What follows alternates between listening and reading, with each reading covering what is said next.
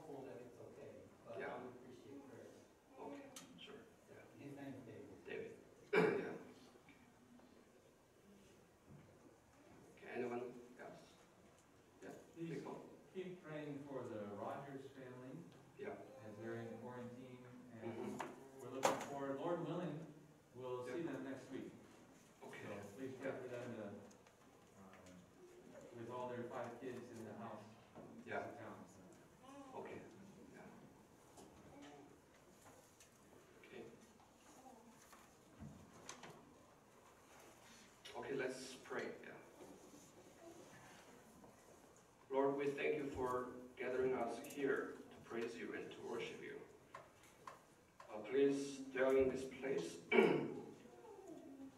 while we are praising you and worshiping you. And let your glory fall into this place. Lord, we thank you for the sacrifice of Jesus Christ on the cross so that our sins were forgiven.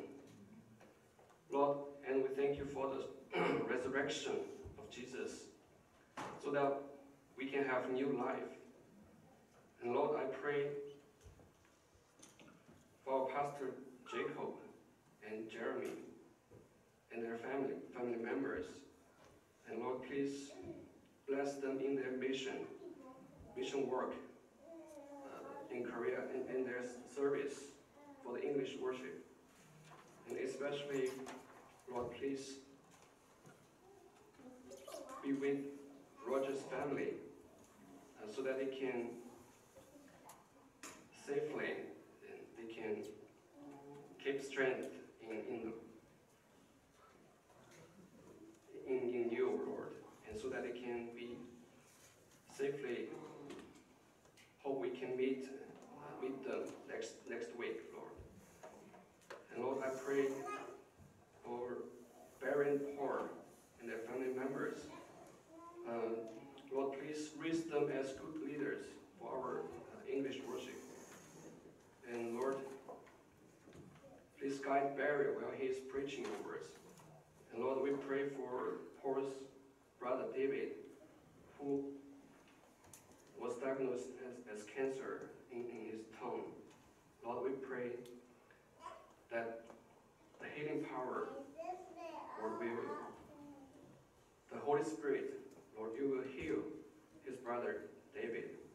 And Lord, so, so we can have very good results and, and also, Lord, please prepare the best treatment for his brother so that he can totally recover from cancer. And Lord, we pray for, I pray for all our family members in this community. And please bless us in our working place, in our mission work, and in our daily life. And Lord, please heal the sick among us. Please use us to spread good news to our neighbors. Thank you, Lord. In the name of Jesus, we pray. Amen.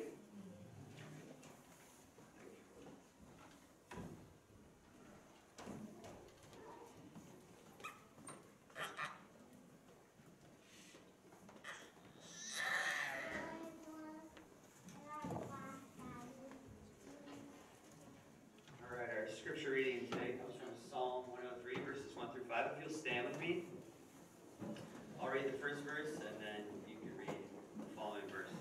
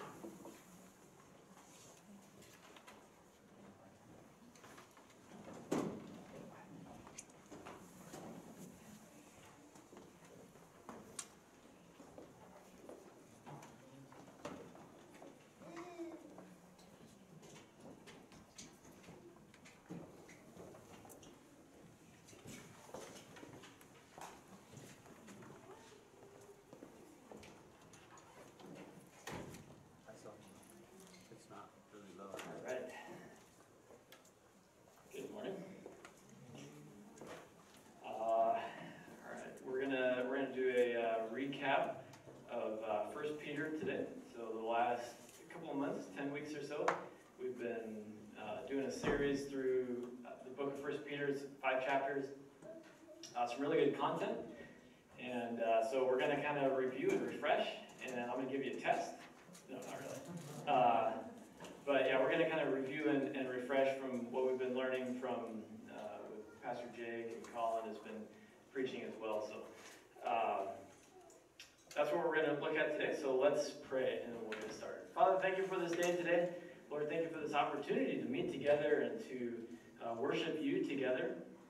And Father, as we uh, are preparing for Resurrection Sunday next Sunday, that you would prepare our hearts uh, to not only reflect on your life and sacrifice, uh, but Lord, the relationship that we have with you and the love that you have for us. And Lord, I ask you would help us to love you and love others with that same love, that we would die if necessary for others, and that we would die for your sake. I ask these things in Jesus' name. Amen. All right, so as, as uh, Paul mentioned, you know, next, next Sunday is going to be uh, Easter Sunday, Resurrection Sunday. Uh, so today that puts it at Palm Sunday, so the, the day uh, the, the, when, when we remember that Jesus uh, entered into Jerusalem on a donkey, he was hailed as king, and then uh, shortly thereafter then was rejected people and, and crucified. Uh, so today, I guess is the, the Palm Sunday sermon, but uh, previously scheduled for a, a First Peter recap. but no worries, we can work in um, resurrection references because Paul or Peter uh, writes about resurrection, uh, giving us hope. So, uh, so we'll get our Palm Sunday message that way through Peter. Uh, just to give a little bit of background, if you if you haven't been here or if you missed the, the first uh, couple of messages way back, a little bit of background on Peter. Peter is in Rome uh, probably in Rome, writing his letter to uh, Christians throughout the Roman Empire, and they've already started experiencing persecution in the Roman Empire, persecution of Christians inside the Roman Empire, but it hasn't gotten to the point where it became really extreme as far as uh, the, the, the, feeding of Christians to animals and, and gladiators and that sort of thing. So it, it's moving that direction, but it hasn't gotten that bad yet. So Peter is probably seeing some persecution or signs of persecution there in Rome and writing this letter to warn uh, Christians throughout the empire that, that persecution for the sake of Christ is coming. Uh, and it's coming soon. So prepare yourselves.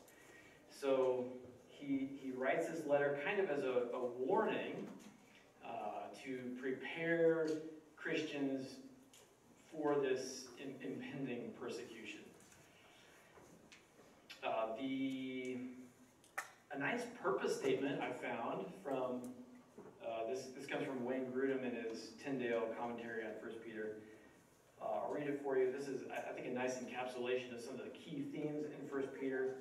The purpose of First Peter is to encourage the readers to grow in their trust in God and their obedience to Him throughout their whole lives but especially when they suffer. Uh, growing in trust and growing in obedience throughout our whole lives, but especially when we suffer. And Peter, when he writes about suffering, the, the implication is this is persecution for your faith. It's not. Uh, it, it's not necessarily medical suffering and, and you know famine and that sort of thing uh, people being unfriendly to you for whatever reason. It's in the context of uh, as a Christian. But I think, um, I think it is also fair to apply some of these same things to all types of suffering that we go through, whether it's health suffering or just kind of systemic brokenness of with famines and uh, devastations and things like that. So, uh, if you have your Bibles, we're gonna we're gonna do a quick jaunt through all five chapters of First Peter. So, uh, sort of taking the highlights of, of each week that we looked at, uh, the messages that we looked at. So, trying to look at the, the big overall flow of Peter's message to, to follow his logic uh, and to see the, the big themes that Peter brings out uh, as he's writing this letter. So that's what we're going to try to do is not really get the details so much as try to look at the big picture of, of each of the chapters and, and the whole book. Uh, and then come away with some, I think, some pretty good conclusions that we can take away to try to apply into our lives and to remember uh, since, since this world increasingly uh, seems to be going the way of the godless and there's increasing persecution, whether it's severe or minor, but it, it seems to be in, increasing hatred of, of Christ and Christians around the world. Uh, all right, so Peter starts out. The very first thing that he talks about is hope. So he starts this book on suffering with this reminder that we have hope. So before you get uh, focused on the suffering, before you hit the persecution, before you hit whatever bad things, remember, keep in mind, you have hope. Uh, and where is your hope? Well, it's in Christ, it's in his resurrection. And so he says, uh, verse 3 Praise the God and Father of our Lord Jesus Christ. According to his great mercy, he has given us a new birth into a living hope through the resurrection of Jesus Christ from the dead, and into an inheritance that is imperishable, uncorrupted, and unfading, kept in heaven for you. So, so we need to keep this in mind, Peter is saying. Throughout persecution, no matter what's happening to you, keep this in mind. We have hope. If you, if you place your faith in Jesus, uh, through the power of, of Christ's resurrection, you have hope. So hang on to that. Hold on to that. Don't forget, you have hope. So this hope of uh, hope of Christian is living, it's lasting, and it's life changing. Uh, and then we see Peter writes about kind of the purpose of trials. Uh, uh, he's not the only he's not the only New Testament writer who writes about this, but the purpose of trials is sort of this testing uh, to, to, to prove our faith and to purify us, to remove the, the bad things from our life, bad meaning like immoral and, and ungodly things from our life, our dependence on uh, comfort or convenience or whatever that we're depending on. Uh, and, and faith, it's not just, uh, yes, I believe that Jesus rose from the dead, hallelujah, God exists. It's not just saying that, uh, but it's acting on it. So if you really believe in Jesus, if you really believe that, that God loves you and that he, he sent his son to die for you and that you have a reconciled relationship with God, if you really believe that, you're going to act on it. There's going to be actions there. Uh, and so, and so Peter then goes on to provide uh, a, a, list of some of what those actions look like. Uh, but we have to keep, keep in mind that it's not just a, a, verbal faith or saying, yes, I believe in Jesus, but there's action. There necessarily will be actions uh, to, to evidence our faith. So keep in mind, those actions, those good works, is not what saves us. That's not what that's not what God is looking at to see are, are you saved or not? Are you going to heaven or are you going to go to hell? Uh, but it's, uh, there, it, it's signs that we do have genuine faith in our heart. Uh, and so then there's this reminder we need to, uh, to follow Jesus as he, as he did so many years ago uh, on this week that we're celebrating here, uh, the Passion Week of how Jesus literally took up his cross and he went to his death, but we, we too need to take up our cross daily to crucify our flesh, to die to ourselves and live to him. So it's not our desire, what we want, what makes us feel good, but what it's, uh, how can we obey Father? How can we live for him? How can we give our lives uh, for him uh, to, to show that we have faith because of our faith and because of our love for him? Uh, in chapter 2, then, he, uh, Peter uses this uh, a stone metaphor. And so we, we saw a comparison between uh, stones in the Old Testament and, and Christ as a cornerstone and a, a living stone. Uh, so there's this, this stone uh, analogy here. And so we looked at, we, we see in chapter 2 how both Christ and Christians, because Christ is in Christians, this is what's, what's causing this, that both Christ and Christians are chosen by God, rejected by the world, and growing in glory. Uh, and so we, we are chosen by God, we are rejected by men, and we are growing in glory because of Christ, because of his death and resurrection, that we, uh, we too uh, will experience rejection in, in the world and we will grow in glory. So Jesus is precious. He's this cornerstone, the, the, the firm foundation, uh, and, and we are part of that because of Christ in us. And, uh, but this, oddly enough, uh, since the world hated Jesus, the world also will hate Jesus' followers. And so this is where, uh, sort of logically, this is where that persecution comes in. The world hates Jesus, so anybody who identifies with Jesus, the world also will hate. Uh, and so this, this leads to a temptation then to, uh, you know, if we don't have, if we don't keep this big picture perspective, it's easy to look at the persecution, the suffering, the, the insults, the ridicule, the mockery that we experience being Christians uh, and say, well, if I just don't identify as a Christian, if, I, if I'm just a secret Christian and just sort of, you know, blend in so nobody knows, um, then, uh, you know, then the world's not going to hate me. And so I can avoid all of the, the trouble and the persecution.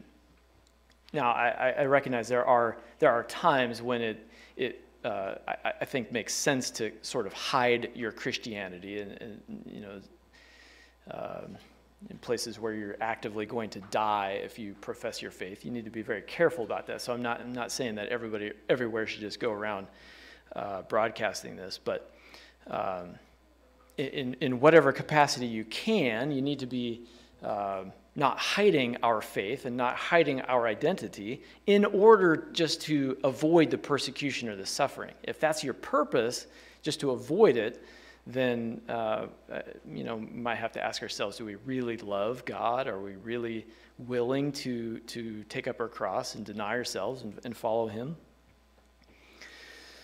Uh, so there's there's a temptation then to sort of uh, yeah reject re- reject God or, or sort of live live in hiding. Um, uh, to, to live in hiding, but Peter is saying we have to follow Jesus. Jesus set his example, so we need to follow him. We need to live as Jesus lived. Um, and Jesus humbled himself to the point of uh, dying on a cross, God becoming, taking on human form, is, is humility already. And then subjecting himself, the creator of the world, subjecting himself to, mo- uh, to mockery and insults, to ridicule, to, to beatings and, and crucifixion. He subjected himself. He was so humble that he willingly did that for his love for us and his love for Father. And so Peter is saying, we ought to follow Christ's example and also humble ourselves, even if it means getting beaten or ridiculed or even dying. Uh, and then there's, there's um, Peter shifts into a, a, section then on, on honoring. Also, what, what does this mean uh, as part of our obedience to Father? This means honoring those in authority. And so Peter looks at, at uh, several different uh, relationships between us and the government or us and employers, uh, masters, uh, between husbands and, and wife, wives and husbands. And so there's, um, there's a, a, good chunk here about honoring others, of how we can um, honor God by uh, honoring others. Um, the, the beginning of chapter 3, it talks specifically about husbands and wives. And so we, we see here that true honor is uh, founded upon true love. So if we really love God, we're going to honor Him and we're going to honor others. And if we really love our spouse, we're going to honor them. Um, and this unity, Peter talks about unity between husband and wife. And we see this mirrored between uh, ourselves and, and Christ, this unity between the church and Christ, of how this shows the world who Christ is. This, the, the humility and the sacrifice in, in marriage, in the marriage context of uh, you know, honoring your spouse, loving your spouse, honoring your spouse, or necessarily having to put away your own desires. Um, and, and, that can be a picture to the world of, of who God is and, and the humility that, that Christ brings to the relationship that he has with us. Um, and unity in the church. Paul writes about this in other places. Uh, the, the importance of unity in a church. If there's division in a church, if there's division in a Christian marriage, then what picture does that show to the world? Well, it's, it's not showing one of love, it's not showing one of humility and sacrifice. It's showing, uh, it's showing a relationship of self centeredness and hardness. And so, uh, unity is very important to God. Uh, and so, having uh, unity in the church, now, uh, again, there's, there's times when it's necessary to divide a church or even a marriage because of certain issues that are going on. But Peter is, is calling us, God is calling us to be unified as much as possible. And if we're loving others and if we're humble and, and we're following Christ, then unity is going to be uh, a, a, very blessed thing there. Um, and then uh, chapter 3 then shifts back into uh, looking at this uh, suffering. And so here he, he really gets to the heart of, of his letter of, of you're going to suffer. For the sake of Christ, you're going to suffer. If you carry his name, you're going to suffer. And so suffer well. And so then we're, we're asked this question Would you rather suffer now in the flesh, temporarily, or would you rather suffer permanently, forever? Uh, so it, it's, it's kind of, I guess, Peter, in in, a, in a way, is offering us a choice. You can suffer now and have eternal glory awaiting you in heaven, uh, or you can avoid the suffering now by rejecting Christ, uh, but then you'll suffer for eternity in hell apart from God. So we have a choice. Obviously, for us, all we know is life this the physical life. We don't know what it's like to live in eternity. Uh, so it's really that makes it really difficult for us to to keep that big picture view and say, yes, it's worth it to go through whatever we go through now for the sake of Christ and have eternity with uh, reconciled relationship with God living in heaven. It's really difficult to make that choice because we don't know what that's like. We haven't experienced it. Um, but I, I suspect that even just one day in heaven, the very first moment you enter heaven, you probably will say, it was worth it. Whatever we went through in this life was worth it. Uh, to live in uh, complete peace and harmony and not have any striving or fighting or, or tears or sadness or hardships anymore uh, whatever we go through in this life, probably it will be worth it. Uh, which is part of the reason why Peter's writing his letter to prepare Christians and to prepare us for the suffering that comes so that we can suffer well and that we can carry, carry Christ with us and that we uh, don't lose our faith uh, and end up losing out on, on the, the glories of eternity.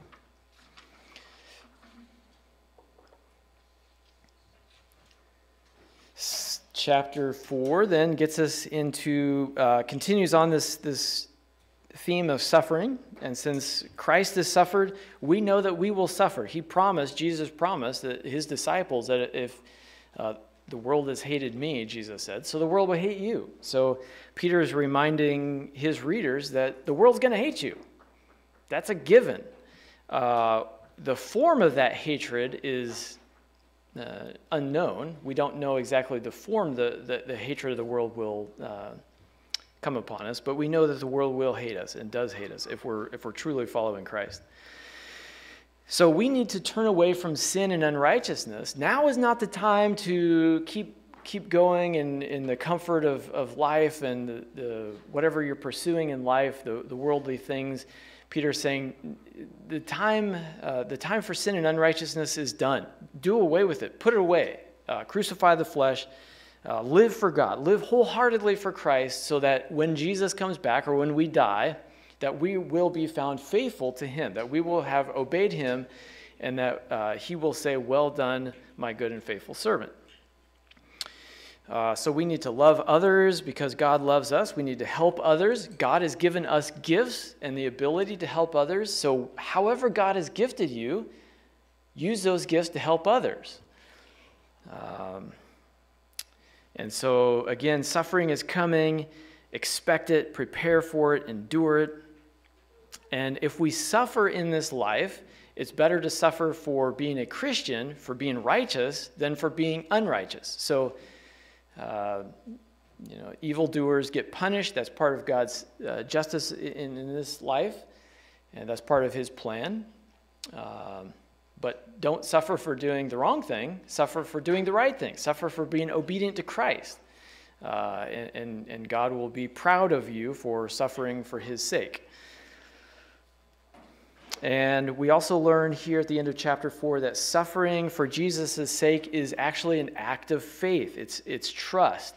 It's saying to God, I believe that you exist. I believe that you have uh, saved me. I believe that you will uh, bless me with heaven.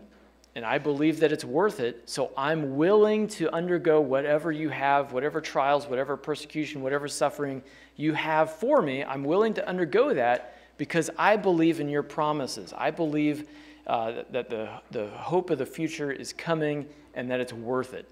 And so, living through trials, living through suffering, is an act of faith. It's telling God, I believe that you have good things for me. I believe that you are right. I believe that you are good, Father, and that it's worth it. And so I'm going to go through whatever bad things uh, are in front of me because I, I trust you. And then, uh, chapter 5, we get to uh, sort of his, his conclusion, and he talks about the importance of humility again. And so, here in uh, chapter 5, verse 5, in the same way, uh, he talks about being uh, subject to the elders. He's talking about church elders, so authorities in the church. So, we need to humble ourselves and obey the church leaders. Uh, again, this is assuming that they're doing the right thing, that they're being godly leaders. This is not just, you know, subject yourself to spiritual abuse and such, but. Um, so clothe yourselves with humility toward one another because, because God resists the proud but gives grace to the humble. Humble yourselves, therefore, under the mighty hand of God, so that he may exalt you at the proper time, casting all your care on him because he cares about you. So, uh, this his final reminder here be humble, uh, trust God, and he says, resist evil, endure suffering because you know it's only temporary. Even if it lasts your entire physical life, it's still temporary in light of eternity. And so, resist this evil.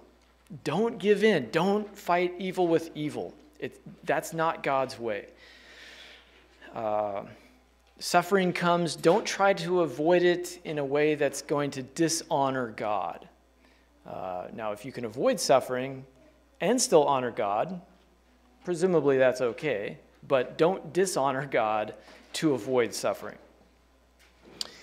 And um, if you have anxieties, give your anxiety to God, trust Him uh, allow Him to lead you and guide you and, and place your life in His hand, whatever He has for you. God will strengthen us. Remain rooted in Christ, and we will be established. And Peter says, uh, his, his closing, one of his closing uh, couple of verses, 10 and 11. Now, the God of all grace, who called you to his eternal glory in Christ Jesus, will personally restore, establish, strengthen, and support you after you have suffered a little. The dominion belongs to him forever. Amen. All right, so uh, looking at the big picture of First Peter, some of the, the themes that, he's, that, that we see listed through First Peter, kind of following the trail here. To start with, we see Jesus suffered, we will suffer too. Why? Because we uh, carry his name, and the world hates Jesus, so the world will hate us. Jesus suffered, we will suffer too.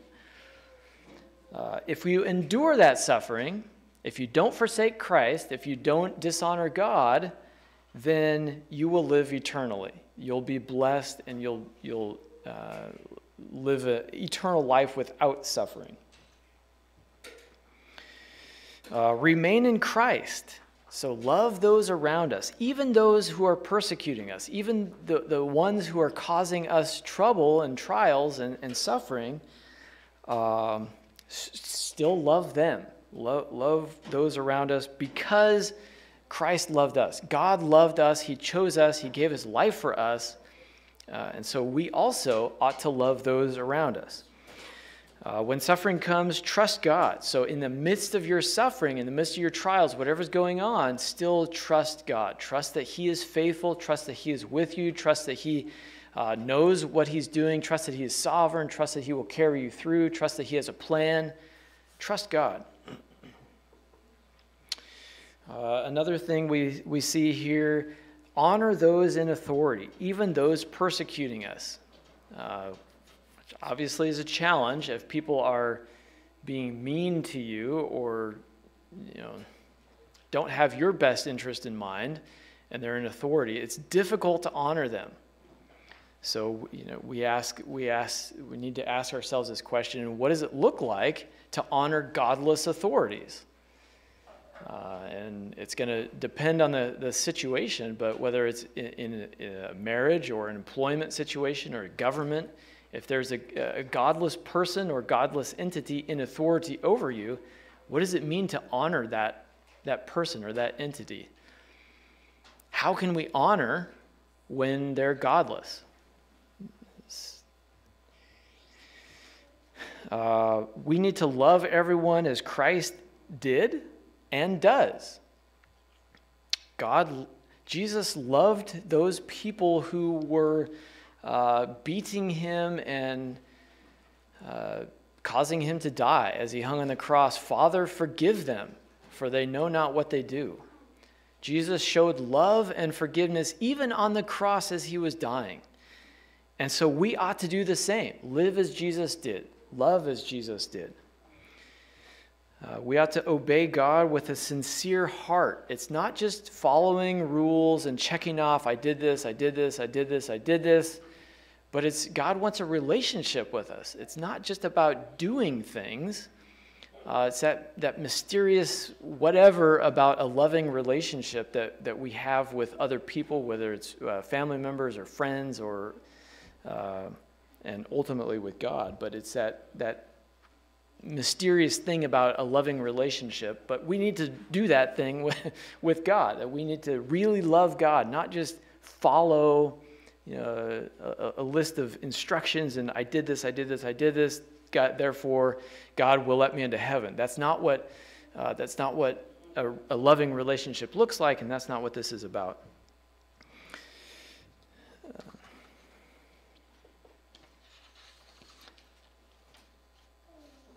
Okay. Uh, so the uh, one other one other question, I guess, food for thought question that we can ask ourselves, uh, in addition to what does it look like to honor a, a, godless authority figure, but how do we focus on Christ in the midst of suffering?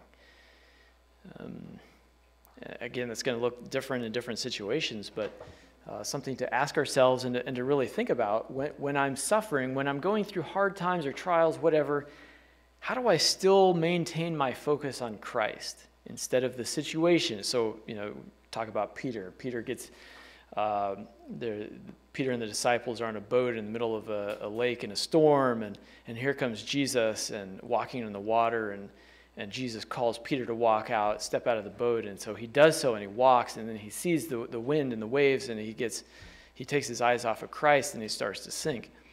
Uh, how easy it is for us to focus on the situation that we're in or how much somebody or something is causing us trouble, how easy it is to focus on that. If only I didn't have this person here. If only I didn't have this in front of me. If only, if only. Uh, or to focus on how much I, I, dislike that person or that thing or this situation. Uh, how easy it is to, to lose sight of Christ and, and the fact that He's with me and He's in me and He's strengthening me and carrying me through. Uh, so, how do we focus on Christ in the midst of suffering? Uh, so, conclusion here Jesus lived and he died, and he was faithful and obedient to God. This is, seems to be Peter's big message here. Jesus lived and he died. He was faithful and obedient to God. His entire life, he was faithful and obedient to God. Uh, so this shows us a couple of things. One is that uh, it shows us how we ought to live in uh, times of, of conflict or times of suffering. Love others, love God, trust God, obey Him, honor those in authority. This is how we ought to conduct ourselves, even in suffering, even in persecution, even in trials. Uh, second thing is that uh, Jesus' death and resurrection give us hope that we too will rise again uh, after our death. So, no matter how bad life is, this isn't it. That's not all that there is. There's more. There's an eternity that awaits if we're faithful to God, if we have a, a loving relationship with God. Uh, there's, there's an eternity of joy and peace and, and happiness that await if we uh, remain faithful to God. So we look to Jesus, we look at how he lived and how he died, and, and we do the things that we saw Jesus do. We do the things that we see Jesus do uh, and, and that his death and his resurrection give us hope. And so this week, as we reflect on uh, Jesus' last week on, on earth before his uh, death and resurrection, as we think about what Christ, uh, what Jesus did and how he lived and how he died and what he did for us, and not only physically, how he lived his life and, and what he did for us physically there, uh, but spiritually as well, with the reconciliation, the forgiveness of sins. What does it mean to be forgiven of your sins? What does it mean to, to live forever? As we reflect on that, these things this week, um, yeah, we can we too can know that that glories await us if we remain in God. And so, sort of as we're looking at the uh, Peter's, we've looked at it for ten weeks, and now we kind of boiled it down to you know, the five chapters and however long it just took, 20 minutes, and then boiled it down to five minutes and then a little bit more. So if you want to, if we want to boil it down even further, we could say here, look at how Christ lived and live as he lived. Uh, so let me pray for us again, and then I'll sit down. God, thank you for uh, your love for us. And Father, I ask that you would help us to remain faithful to you, that we would obey you God, that help us to have a, a good, loving relationship with you. Help us not to take our eyes off of you. Help us not to focus on the trials and the suffering and the disappointments and people in our lives who are doing evil things. God, please help us to focus on you and, and help us to love those around us and honor people in authority, even when they're doing the wrong thing, even when they're godless. Father, I ask you would strengthen us and help us to love you, to love others, and help us to be faithful to you. I ask these things in Jesus' name. Amen. This morning uh, by uh, taking up tithes and offerings. So if there's something that you have you want to share with uh, the church to continue the ministry and service, we're going to sing this song together, Come to the Altar. And uh, the idea is that whatever res- regrets or mistakes we may have made in the past, it doesn't matter. Jesus knows everything that we've done. He knows everything we're going to do, and He's uh, right there willing to um, accept us back no matter what the circumstances. So we're just going to sing this song together uh, uh, and just asking God um, to help us come back to Him, whatever our condition. Are you hurting and broken within? overwhelmed by the weight of your sin, Jesus is calling. Have the end of yourself? Do you thirst for a drink from the well? Jesus is calling. Oh, come to the altar. The Father's arms are open wide. Forgiveness was bought with the precious blood of Jesus Christ.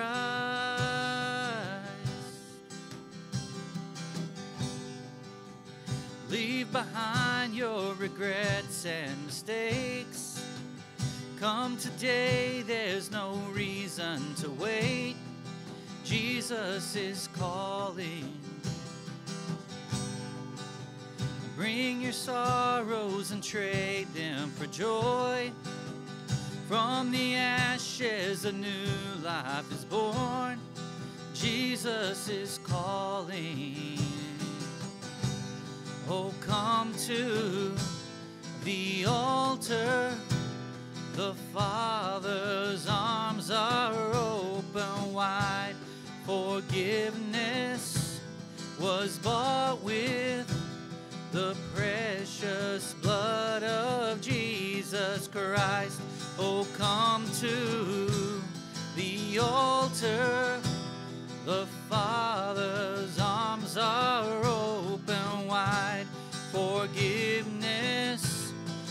bought with the precious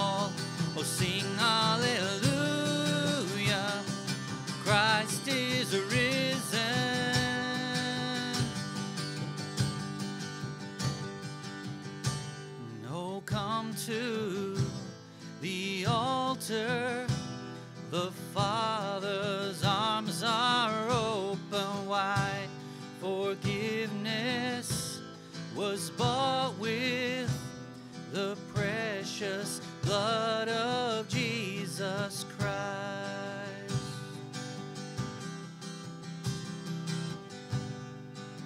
And bear your cross as you wait for the crown. Tell the world of the treasure you found.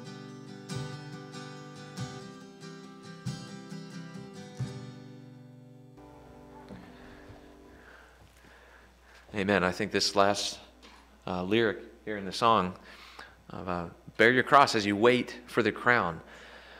Uh, Barry, thanks for your for the, the recap of First Peter, and I just want to. I, I was thinking about this as I was listening, and it just it sounds so so weak. It, it, it sounds it sounds so foolish the gospel, doesn't it? From a worldly perspective, when, when the Romans, think about it, when they looked at Jesus on the cross, how could you look at somebody dying on a cross and say, wow, that's, that's power? Wow, that, that's, that's what winning looks like. No, they, they would say that's weakness, and I don't need any weakness in my life. I already have enough weakness. I need power in my life. And I, I think that some of us here are listening to the message and saying, Suffer? What? What? I don't need suffering in my life. I need healing in my life. I, I don't need pain in my life. I don't need bearing a cross in my life. I need power. I need to overcome.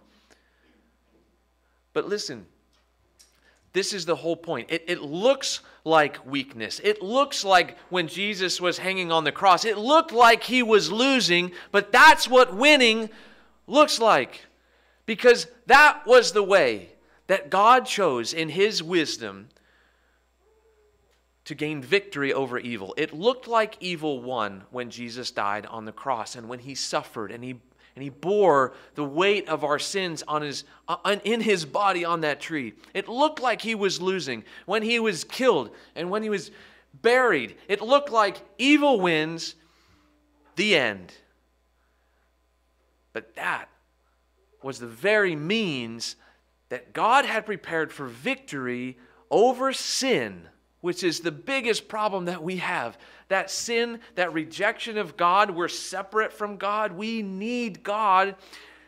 And with sin in our lives, we are under the wrath of God, His judgment, instead of being with Him in a relationship with Him, which is what He created us for. The gospel looks weak initially. It looked like death had won. It looked like evil had won, that, like Satan had won. But that is victory. And that's the whole point. Jesus gained victory on the cross when he humbled himself and he died on our behalf. He gained victory while he rose from the grave. And God has raised him up he is, he is Lord of lords. He is King of kings. And one day, every knee will, will bow the knee, will bend the knee, and every tongue will confess that Jesus is Lord. And for those of us in our lifetime, for those of us who are willing to bend the knee today, and we believe that Jesus not only suffered, but he rose from the dead, and we believe that he is Lord, and we freely confess that, we are saved. What does that mean? Saved means that we're, we're drowning, right? We're drowning in our sins. We're literally, we cannot win. We're dying apart from God. We're under the wrath of God. We're, we're under condemnation because we have chosen our way instead of God's way and we've disobeyed Him and we're drowning. We need saved. We're on our way toward destruction and hell. But God says, here's the free gift of eternal life. Here it is. You can have it. And if you say, well, that looks like weakness, I don't need that. That, that looks like pain, I don't want that. No, but it's the power of God. It's the power of God. And if you have not received that, I want to make sure that you understand when we talk about this suffering, it's not about you suffering to gain eternal life. That, that's not, it's not by your suffering that you gain heaven. No. It's by Jesus' suffering for your sins on your behalf and rising from the dead, and you just trusting that He is the one that God sent to save you. You trust Him. He's Lord. You believe, then you're saved. Now, after that, you receive, you receive that gift of eternal life. You receive salvation. Then, and only then, when you look at the cross as power, you look at the cross as victory, then we can follow our Savior. Then we can live like Jesus because the suffering that we go through on His behalf is not actually losing. It looks like losing, but it's not, it's winning. And that's what Christianity is about as we go through our lives. It's not about dying. It's not. We deny ourselves, yes, but it's not about dying. It's about living. It's about living the resurrection life that Christ has. It's about the joy that He gives us to go through suffering, to go through these things in this life now. It's about the peace that He gives. It's about the love that, that we have because He loved us and we can love others then. And even if that means suffering, we can suffer well because we believe this is temporary. Jesus suffered for me, and that's what winning looks like. And I'm on my way to eternal victory. Then we can live as Jesus lived. It's not I, I have to love God and I have to work myself up so I can do all these things, check, check, check, check, check, suffer. That, that means that I have eternal life. No. Jesus did it all. And we're following him to victory by faith. So if you have never placed your faith in Christ, I challenge you today Trust Him. Receive that gift that He has offered freely through His suffering for your sins and how, how He rose from the dead. He's offering you victory then. He's offering you forgiveness and a relationship with Him. Would you just, would you just say, Yes, I, I believe it. Yes, I receive that. And, and if you have already, then this challenge from 1 Peter, I encourage you to, to, to take that challenge, to, to receive that instruction from the Lord of living as Jesus lived. It's not by your power that you can do that, it's by His power and His example that we can follow Him. So as we as we close, I'm going to ask all of you to stand and we're going to pray. But it, this is a what we call a benediction. It's, it's just a, a, a blessing, and, and I, I hope that it would would encourage you that as we leave from from here and as we go to our homes and as we go throughout the week, whatever it is that we face. I pray that we would be encouraged by these truths. And this benediction is from the last verses in 1 Peter, 1 Peter chapter 5. So let's let's look to the Lord. After you have suffered a little while, the God of all grace, who has called you to his eternal glory in Christ, will himself restore, confirm, strengthen, and establish you. To him be the dominion forever and ever. Heavenly Father, help us to remember this. Help us to look to the cross and remember that that is your power displayed. It looks like weakness and it looks like even foolishness, but it is power and wisdom. Help us not to forget that. Help us to remember that even though there is pain and suffering in this life, we are heading to an eternal victory in you. I pray for each one here that we would walk in that victory, that we would declare through our lives Jesus is Lord, that He is the King, that He has won, and that we're on His side, that we're not worthy, but that He is worthy. To Him be power and dominion and glory and honor forever and ever. In Jesus' name, amen.